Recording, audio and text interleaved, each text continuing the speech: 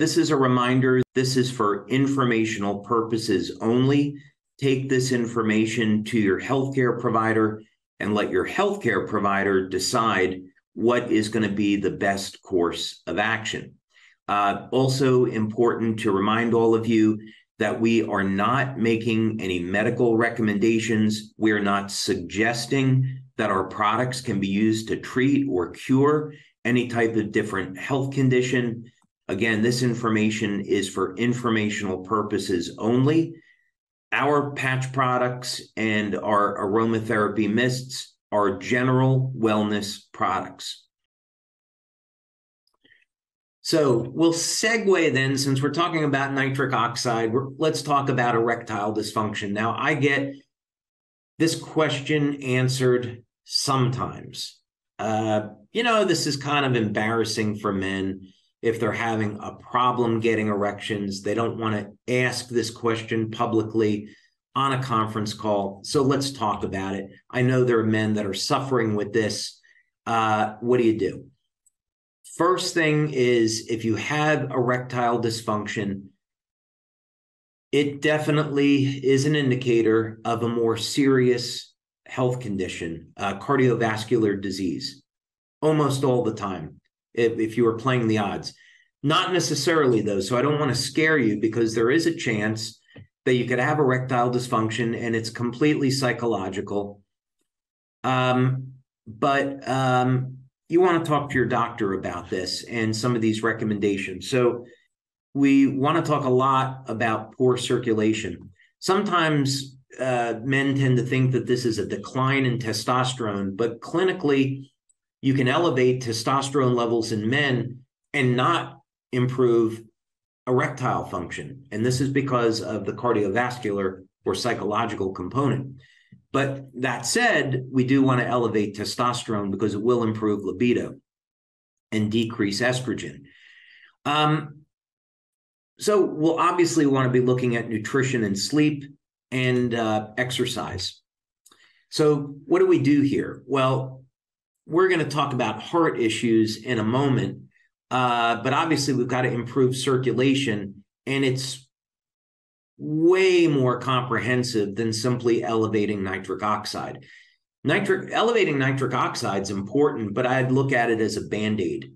Um, you've got to get to the root of the problem. Um, improving hormone profile, uh, elevating testosterone is going to be important. Elevating growth hormone.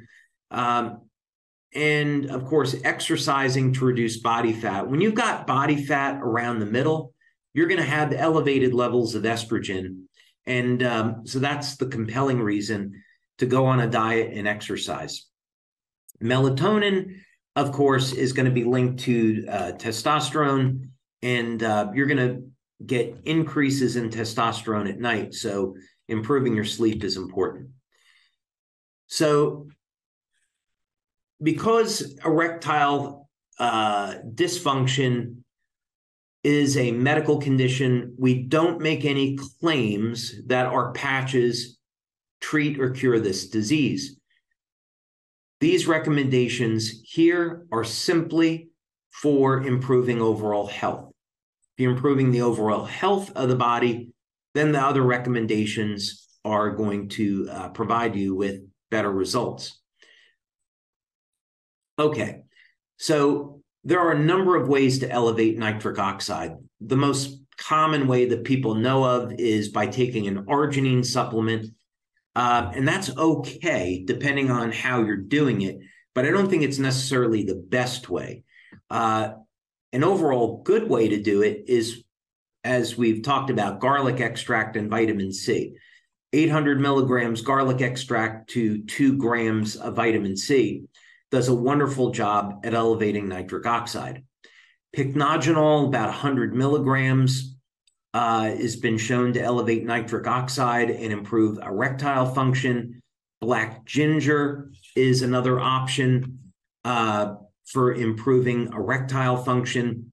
Uh, Tongkat Ali, 100 to 400 milligrams daily will improve testosterone levels. And uh, so that could be a good supplement. Taurine, we talked about that a little bit before. Three to five grams per day not only is great for anti aging, but is shown in clinical studies to support testosterone levels.